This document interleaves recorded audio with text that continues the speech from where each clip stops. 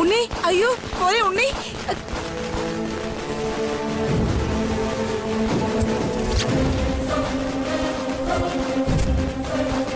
ഉണ്ണി. ഉണ്ണി. ഉണ്ണി.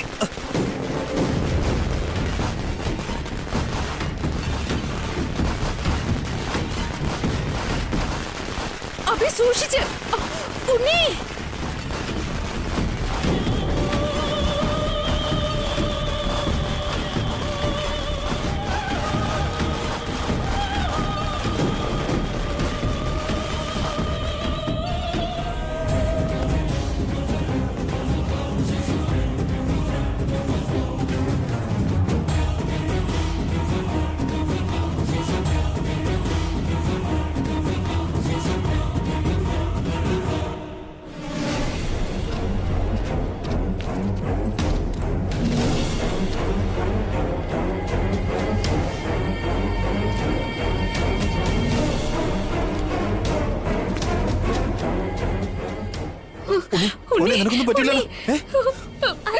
എനിക്കൊന്നും കാണാൻ പറ്റുന്നില്ല അച്ഛാ. എല്ലാം ഇരുട്ടിലായതുപോലെ തോന്നുന്നു അച്ഛാ. ഉണ്ണി നിനക്കൊന്നും പറ്റില്ല ഉണ്ണി. ഇങ്ങോട്ട് നോക്ക്. ഇല്ല അച്ഛാ എനിക്കൊന്നും കാണാൻ പറ്റുന്നില്ല. എല്ലാം നല്ല ഇരുട്ടിലായതുപോലെ തോന്നുന്നു.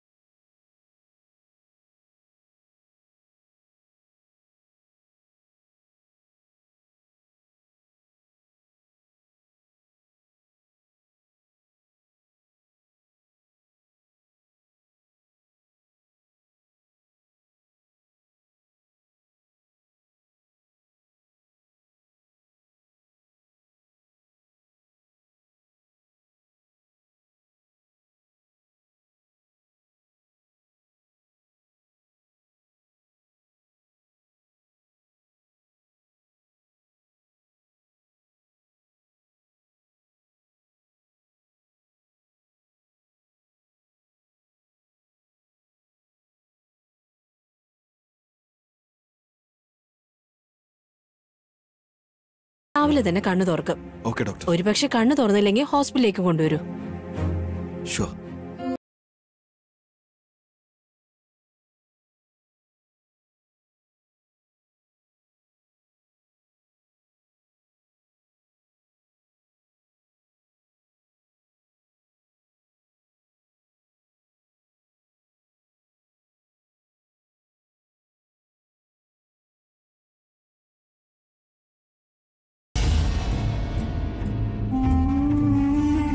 ഷുവർ എന്താ ഏട്ടാ ഇതൊക്കെ? അങ്ങനെ എടുത്ത് എറിയെന്ന് ഞാൻ എത്ര തവണ പറഞ്ഞതാ? ഇത്ര ഇത്ര കെയർലെസ് ആയിട്ടിരുന്ന എങ്ങനെയാ? ഞാൻ എന്താണ് ചെയ്തത് അബി ഏട്ടൻ കാരണം ഉണ്ണിക്ക് ഇങ്ങനെ സംഭവിച്ച. ഉണ്ണിയുടെ അടുത്ത് നിന്ന് ഏട്ടൻ വലിയ വലിയ പടക്കങ്ങൾ പൊട്ടിച്ചു. അതുകൊണ്ടാ വസുന്ധരെ ഭയന്നു പോയത്. വേണ്ട വേണ്ടെന്ന് ഏട്ടത്തെയും പറഞ്ഞതാ. അങ്ങനെ അല്ലടാ അബി എങ്ങനെയല്ലെന്ന് എല്ലാം ശ്രദ്ധിച്ചോട്ടെ ചെയ്യാൻ? നിങ്ങൾക്ക് പ്രായത്തിനനുസരിച്ചുള്ള കോമൺ സെൻസ് ഇല്ലേ?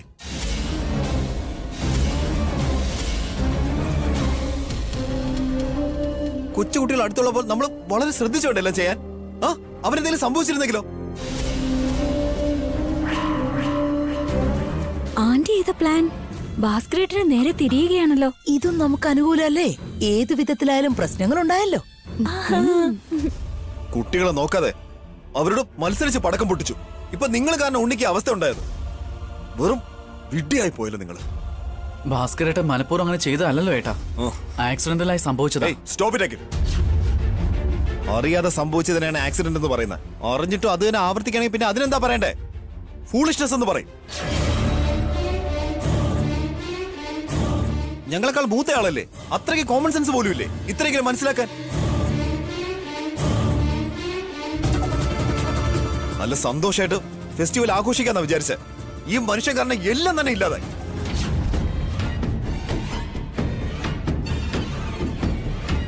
ഭാസ്കർ എന്തോ മനഃപൂർവം ചെയ്തതുപോലെ വായി തോന്നിയൊക്കെ വിളിച്ചു പറയാണോ നീ? നീ അവന്റെ അനിയനാണോ? അതോ നിന്റെ അനിയനാണോ അവൻ? ഇളയമേ ഇവിടെ ആരാണ് മൂത്തത് ആരാണ് ഇളയത് എന്നുള്ളതിലല്ല കാര്യം. കോമൺ സെൻസ് ഉണ്ടോ ഇല്ലയോ എന്നുള്ളതിലാ കാര്യം. അവൻ അറിയാതെ ചെയ്തു പോയതായിരിക്കുന്നു കരുതിയ പോരെ. നല്ലൊരു ദിവസമായിട്ട് എന്തിനാ അവനോട് വഴക്ക് കൂടുന്നേ? അതും എല്ലാവരുടെയും മുന്നിൽ വെച്ച്. നിനക്ക് നിന്റെ മോനാണ് വലുതെന്ന് വെച്ച്? നിന്റെ ഏട്ടൻ എങ്ങനെ വഴക്ക് പറയാണോ അബി? നാളെ ഒരു സന്ദർഭത്തിൽ നിന്റെ അച്ഛനോട് അമ്മയോട് നീ ഇങ്ങനെ പറയോ?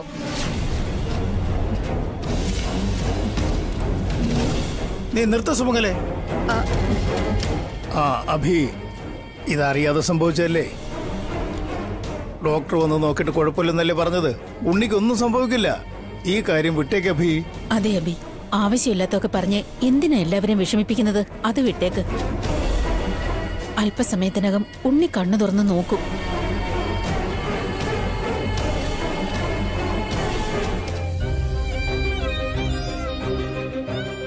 ഈശ്വര എന്റെ ഉണ്ണി രക്ഷിക്കണേ.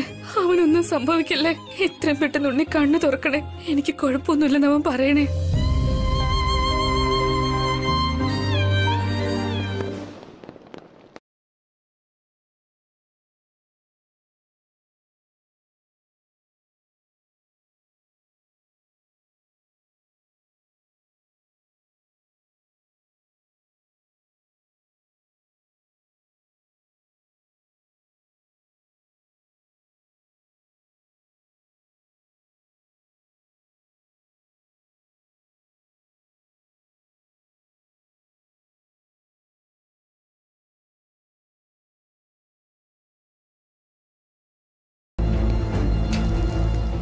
സോറി ഏട്ടാ. ഒരു നല്ല ദിവസമായിട്ട് എല്ലാവരും സന്തോഷമായിട്ടിരിക്കണമെന്നാ എന്നോട് അമ്മ പറഞ്ഞത്. എന്നാ അഭയേട്ടൻ നമ്മുടെ സന്തോഷം മൊത്തം ഇല്ലാതാക്കി. ഇന്നലെ എന്നെ ഇന്ന് ഏട്ടനെ നമ്മൾ രണ്ടുപേരും അഭയേട്ടൻ എന്തിനെങ്ങനെ ടാർഗറ്റ് ചെയ്യുന്നതെന്ന് എനിക്ക് മനസ്സിലാവുന്നില്ല ഏട്ടാ. ഇതിൽ ഇത്ര മനസ്സിലാക്കാൻ എന്തായിരിക്കുന്ന കൊച്ചുമോനെ? നിങ്ങൾ രണ്ടുപേരെയും അബി അവന്റെ നിയന്ത്രണത്തിൽ വെക്കണമെന്നാ ആഗ്രഹിക്കുന്നെ.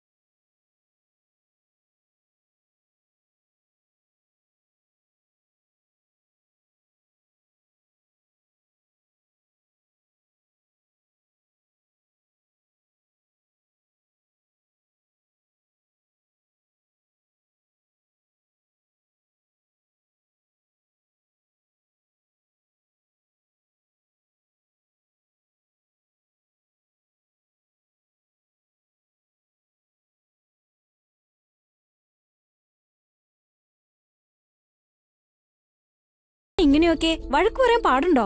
എന്ത് വലിയ തെറ്റാ അത്? ഇവൻ ഒരു മിണ്ടാപ്രാണിയാണെന്നും പാവാണെന്നും ആ അഭി നന്നായിട്ട് മനസ്സിലാക്കിയിട്ടുണ്ട്. വാ തുറന്ന് ഒന്നും എതിർത്ത് പറയാറില്ലല്ലോ ഇവൻ. ആ ഉണ്ണിയുടെ കണ്ണിൽ എന്തോ ഒരു ചെറിയ പൊടി വീണൂന്ന് കരുതി അഭി ഇത്രയും ബഹളം വെക്കണോ? ആ ഉണ്ണി എന്തായാലും അവനെ സ്വന്തം കുട്ടിയാണോ? അതോ ഈ വീട്ടിലെ രക്തമാണോ? എവിടെയോ കിടക്കുന്ന ഒരുത്തന് ജനിച്ച കുട്ടിക്ക് വേണ്ടി കൂടെ ജനിച്ച ജ്യേഷ്ഠാനുജന്മാരോട് ഇങ്ങനെയൊക്കെയാണോ അവി പറയേണ്ടത്? അതെ ഏട്ടാ. ഏതോ വീട്ടിൽ ജനിച്ച കുഞ്ഞിന് വേണ്ടി അബിയേട്ടൻ വല്യേട്ടൻ എന്തിനാ വഴക്ക് പറയുന്നത്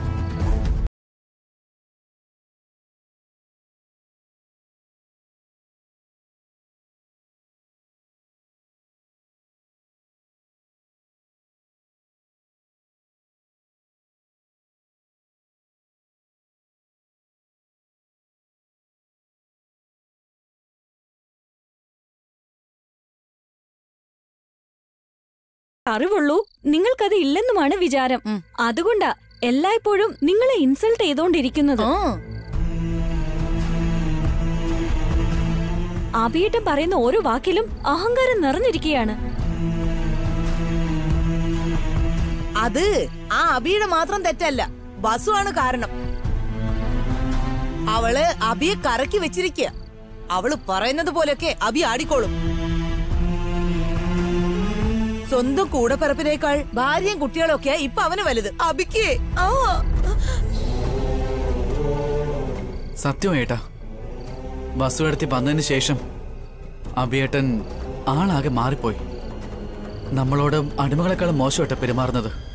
അച്ഛനും അമ്മയും പോലും ഈ കാര്യത്തിൽ ഇടപെടുന്നില്ല. നിങ്ങളെക്കുറിച്ച് ഞങ്ങളല്ലാതെ വേറെ ആരും ചിന്തിക്കാൻ പോകുന്നില്ല. നിങ്ങളാണെങ്കിൽ ഞങ്ങൾ പറയുന്നത് കേൾക്കത്തുമില്ല. ഇപ്പോഴെങ്കിലും ആരാരൊക്കെയാണെന്ന് മനസ്സിലാക്കടാ. കണ്ണു തുറന്ന്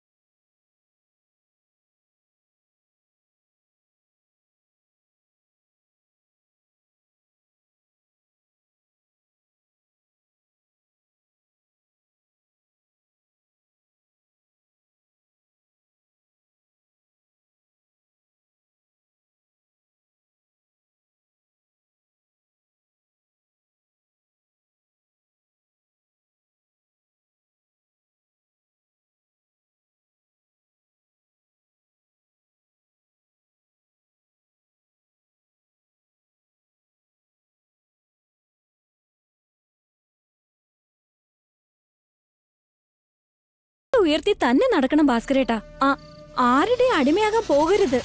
ആലോചിച്ചു നോക്ക്.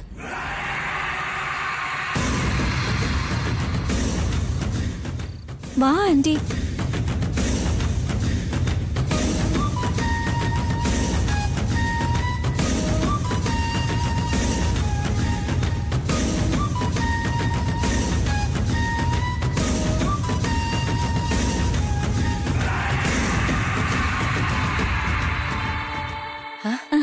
ഇത്തവണ ഭാസ്കരേട്ടൻ കൂടി നമ്മുടെ ടീമിലേക്ക് വന്നതുപോലെയുണ്ട്. അതത്ര എളുപ്പമുള്ള കാര്യമല്ലടി. സാധാരണ ഭാസ്കർ വാ തുറന്നൊന്നും മിണ്ടാറ് പോലും ഇല്ല അങ്ങനെയുള്ളപ്പോ അബിയെ എതിർത്ത് എന്തെങ്കിലും സംസാരിക്കണം എന്നുണ്ടെങ്കിൽ നമ്മൾ ഇനിയും എരി കേട്ടിക്കൊണ്ടേയിരിക്കണം.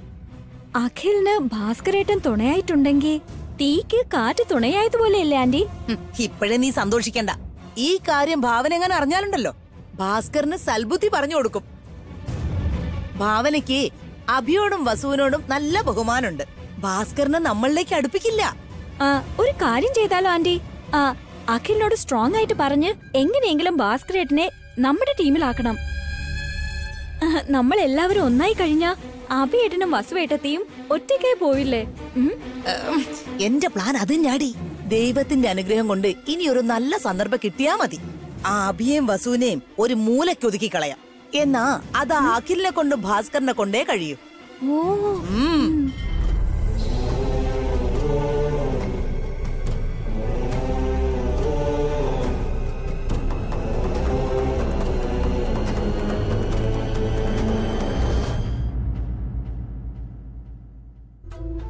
ജയന്തി ഉണ്ണിയെക്കുറിച്ച് ആലോചിക്കുകയാണോ?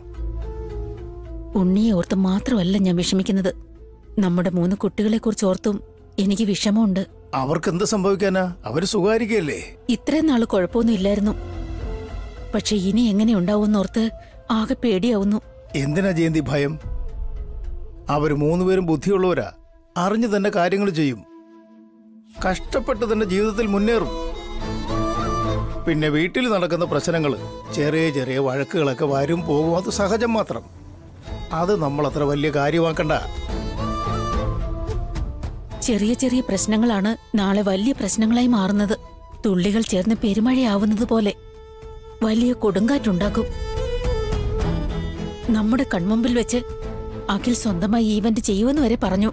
അബി അത് വേണ്ടെന്നും പറഞ്ഞു. വസു പണം കൊടുക്കാൻ അനുവദിച്ചില്ല. ഈവന്റ് അഖിലിന്റെ കയ്യിൽ നിന്ന് നഷ്ടപ്പെട്ടു പോയി. അതിൽ അഖിലും കാർത്തികയും ഒരുപാട് വേദനിക്കുന്നുണ്ട്. അഖിലിന് ഇതിൽ എക്സ്പീരിയൻസ് ഇല്ലാത്തത് കൊണ്ട് ആ ഇവന്റ് അവൻ ചെയ്യാത്തത് ഒരു കണക്കിന് നന്നായി ജയന്തി. അഖിലിന്റെ കാര്യം ഒരു വശത്ത് ഇരിക്കട്ടെ. ഏട്ടൻ കഴിഞ്ഞാൽ ഈ വീടിന്റെ എല്ലാം ഭാസ്കറാണ്. ആ അവനോട് തന്നെ അബി എല്ലാവരുടെയും മുമ്പിൽ വെച്ച് കയർത്തു. ഭാസ്കർ എന്തുമാത്രം വേദനിക്കുന്നുണ്ടാവും? പാവം. അവൻ കാരണമല്ലേ ഉണ്ണിക്ക് എങ്ങനെ സംഭവിച്ചേ? ഭാസ്കർ അതോർത്ത് വിഷമിക്കുന്നതിന് പകരം അഭി പറഞ്ഞതിനെ പറ്റി എന്തിനാ ചിന്തിക്കുന്നേ? എന്ത് നടന്നു എന്നുള്ളത് അവിടെ നിൽക്കട്ടെ ഏട്ടന്റെ അനിയന്റെ ഇടയിൽ വിദ്വേഷം ഉണ്ടാകുന്നതിന് ഈ കാരണങ്ങൾ മതിയാവില്ലെന്നാണോ? ഭാസ്കറിനെ അഖിലിനെയും അഭി ഇങ്ങനെ തരം താഴ്ത്തി പറയാമോ? അവരെ കുട്ടിക്കാലം മുതലേ കാണുന്നതാ. അവരങ്ങനെ ചിന്തിക്കില്ല ജയന്തി. കുട്ടികളായിരിക്കുമ്പോ ഉള്ളതുപോലെയാണോ ഇപ്പൊ അവർ? അവരിപ്പോ വളർന്നു വലുതായി. കല്യാണം കഴിഞ്ഞ് മക്കളുമായി. എല്ലാവരും സ്വന്തമായി കുടുംബജീവിതവും തുടങ്ങി. പരസ്പരം ഓരോരുത്തരും ബഹുമാനിക്കണം സ്നേഹിക്കുകയും വേണം. അതിനൊക്കെ അതീതമായി ഈയിടെയായിട്ട് ഏട്ടൻ അനിയന്മാര് തമ്മിൽ അഭിപ്രായ വ്യത്യാസങ്ങൾ ഉണ്ടായി വരുന്നോ എന്ന് എന്റെ മനസ്സിന് തോന്നുക